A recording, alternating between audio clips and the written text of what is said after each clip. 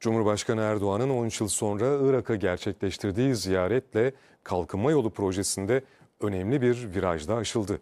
Taraflar arasında ortak işbirliği mutabakat zaptı imzalandı. Projeyle nakliye süreci 25 güne düşecek. Avrupa'nın her ülkesine kesintisiz ulaşım sağlanacak. Lojistik giderleri de yeni İpek Yolu projesiyle azaltılacak. Başkan Recep Tayyip Erdoğan'ın tarihi Irak ziyaretinde Türkiye'nin ekonomik ve jeopolitik statüsünü güçlendirecek ve bölgesel ticaretin kapılarını aralayacak önemli anlaşmalara imza atıldı. Masada olan konulardan biri de kalkınma yolu projesiydi. Yeni İpek yolunda kritik viraj aşıldı.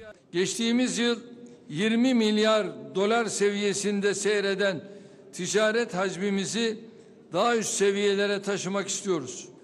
Sayın Başbakan'la bu çerçevede atılacak adımları ele aldık. Ticaretimizin önündeki suni engellerin ortadan kaldırılması noktasında yapılabilecekleri değerlendirdik. Türkiye, Irak, Katar ve Birleşik Arap Emirlikleri arasında ortak işbirliği mutabakat zaptı imzalandı. Kalkınma yolu projesinin bu hedef bakımından hayati önemine değindik.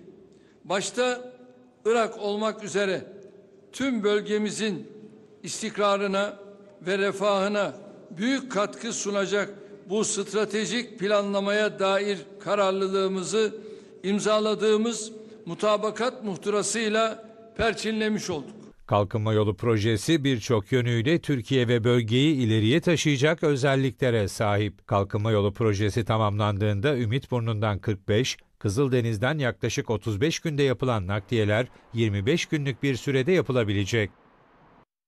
Avrupa'nın her ülkesine kesintisiz ulaşım sağlanacak. Lojistik giderleri kalkınma yolu projesiyle azalacak. Küresel ekonominin ticari koridoru olacak olan proje bölgesel ticarete de yeni bir kapı aralayacak. Kalkınma yolu projesi kapsamında 1200 kilometrelik demiryolu, otoyol, enerji nakil ve iletişim hattı oluşturulacak. Irak'ın Basra Körfezi'ndeki Büyük Fav Limanı'ndan Londra'ya kadar kara ve demir yoluyla Avrupa'nın her ülkesine kesintisiz ulaşımı sağlanacak.